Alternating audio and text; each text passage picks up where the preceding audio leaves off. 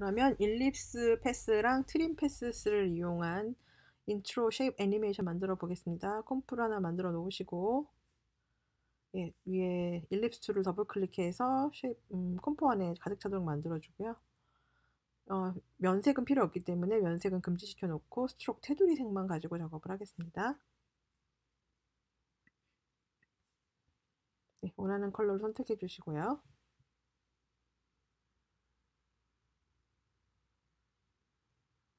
ellipse tool을 선택을 해주면 자동으로 shape layer가 생성이 되어 있을 거고 shape layer ellipse 옵션을 조정하시면 되겠습니다. 지금 타원 형태라고 있기 때문에 이 사이즈를 링크를 풀고 1920, 196 같은 사이즈로 지금 만들었습니다. 정원이 되게끔 만들어줬고요.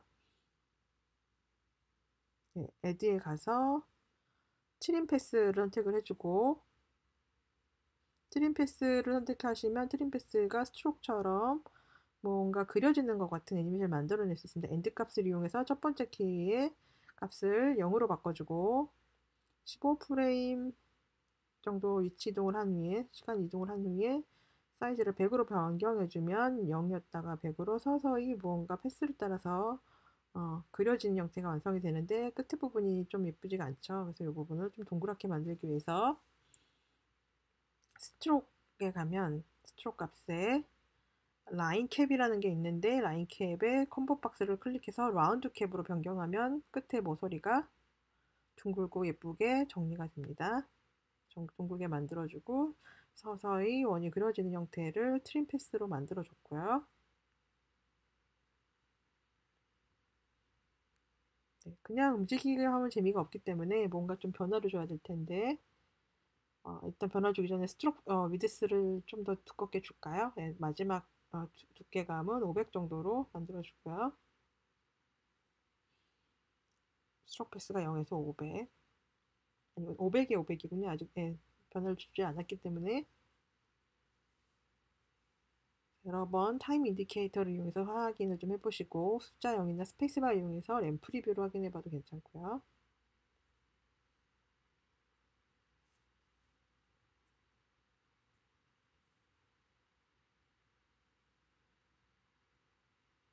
좀 변화를 주고 싶기 때문에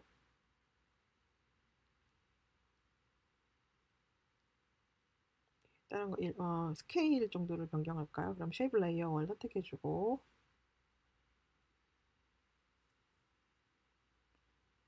첫 번째 키를 찾아서 아, 두 번째 키 15프레임 위치에 time indica- 위치 시켜 놓고 S를 눌러서 스케일을 키워줍니다. 작아졌다가 커지게 만들게 하기 위해서 첫 번째 키는 0%에서 두 번째 키는 15%의 위치 이동을 한 후에 100%로 만들어주면 네, 서서히 커지면서 테두리가 만들어지는 애니메이션이 완성이 되었습니다.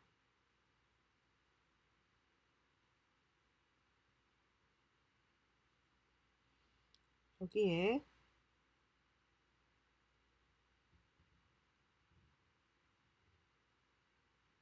음, 여러 가지 옵션들이 있는데 무엇을 사용해 볼지 좀 정리를 해주고요.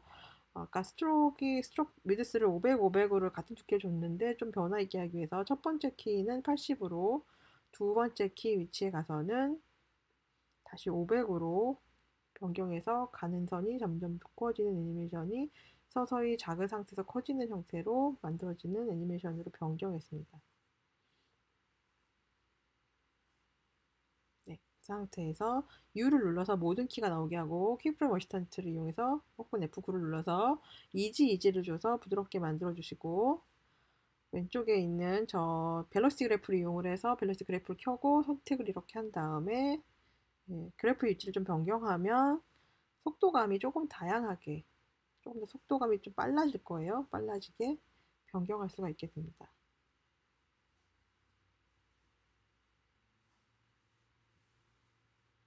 네, control D를 눌러서 한 장 더 복사를 해주고 지금 방금 만든 어, shape 애니메이션을 어, 옵션만 변경해서 개 복사해서 붙여주게 됩니다. 색상을 원하는 대로 변경해 주시고 네, 스케일을 좀 조정을 해서 원래 어, 기존의 사이즈보다 조금 더 적게 형태가 딱 들어맞도록 만들어 주는데 네, 아, 지금처럼 하면은 중간에 time indicator 위치가 굉장히 중요한데 time indicator 위치가 지금 어, 엉성 엉, 엉뚱한 곳에 있기 때문에 키가 지금 3개가 됐네요. 아, 이렇게 키가 3개가 되면 좀 정, 작업이 원하는 대로 진행이 안 되기 때문에요. 네, 지워버리고 delete 키로 눌러 지웠고 어, 스케일 조정하기 전에 네, 마지막 키 15프레임 위치였죠. 15프레임 위치에다가 키를 다시 선택해주고 사이즈를 다시 한번 조정해 주도록 하겠습니다. 그래서 좀 전에 만들었던 shape layer 1보다 좀 더 작게 예, 만들어줬고요.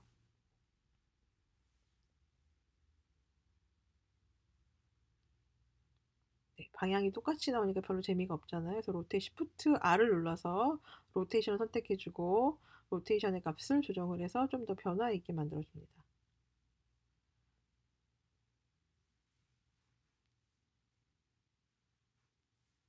control D를 눌러서 한 장 더 복사를 해주고요. 네, 이것도 마찬가지로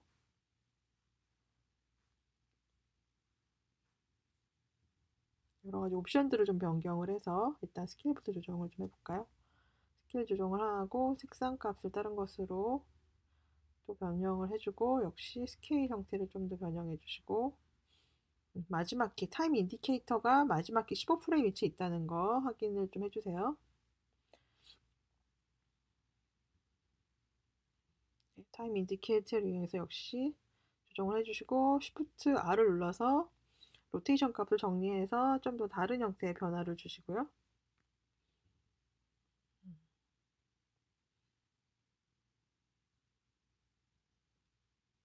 네.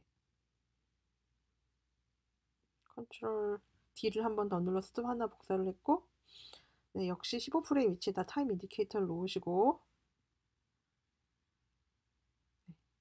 역시 stroke의 색상을 원하는 색상으로 변경을 한 후에 스케일을 조정해서 좀 작게 만들어 보겠습니다. 네. 그 상태에서 옵션을 좀 클릭을 해서 stroke width 값이 음, 500 정도 있긴 한데 좀 더 두껍게 해서 저 검은색 영역을 사라지게 만들려고 합니다. stroke width를 많이 줘서 중앙에 검정색 배경이 보이지 않도록 꽉 차게 색상으로 꽉 차게 만들어주고 두께감이 지금 굉장히 굵기 때문에 스케일 S를 눌러서 사이즈를 살짝 조정을 줍니다.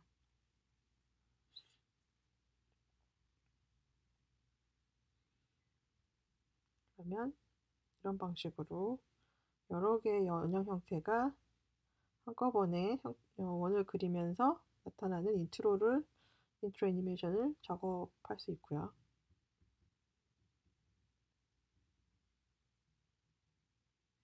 네, 모든 레이어를 컨트롤 A 누르고 U를 눌러, 눌러서 모든 스케일 키를 한번 확인을 해보고 time indicator를 약간 위치 이동한 후에 앞에 있는 키를 이용을 하면 같은 값을 바로 앞쪽에 있는 키의 같은 값을 한 번 더 만들어내는 겁니다. 그런 상태에서 첫 번째 레이어 선택을 해주고 time indicator를 좀 위치 이동한 후에 스케일이 0이 되게 사라지는 거겠죠. 얘는 스케일이 이거는 3D 레이어 필요 없으니까 체크를 풀게요. 그리고 사이즈를 키워서 composition 바깥으로 나가게끔 크기를 키워줍니다. 네, 모든 레이어에 동일하게 composition 바깥으로 나가게 그러면 가운데 것은 사라지고 나머지 것들은 화면 바깥으로 나가게 되는데 같이 나가니까 재미가 없잖아요. 역시 또 시간 차이를 주어서 서로 여러 가지 색띠가 한꺼번에 사라지는 게 보일 수 있도록 네, 랜덤하게 키값을 조정해 줍니다. 네, 지금 모두 같이 한꺼번에 움직이니까 좀 재미가 없잖아요. 그래서 좀 달라지게 속도감이 좀 다 다르게 나오겠죠. 지금 속도감이 다른과 동시에 색띠들도 다른 느낌이 나게끔 이렇게 만들어줬습니다.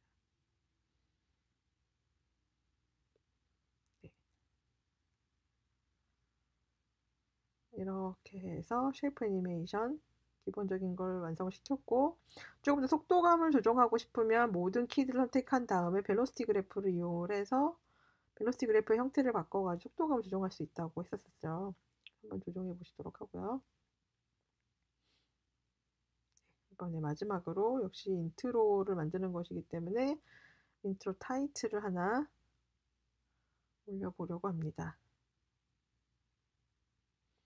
네, 타입 2를 이용을 해서 화면에 클릭을 해서 팝업이라고 입력을 했고요.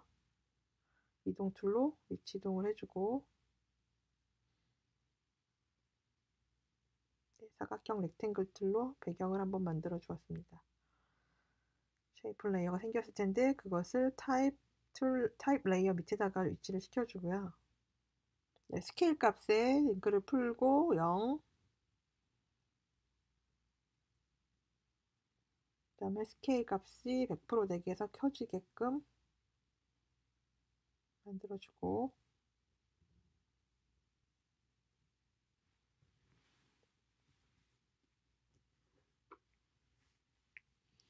전체 선택한 후에 easy ease F9를 눌러서 확인을 해줍니다.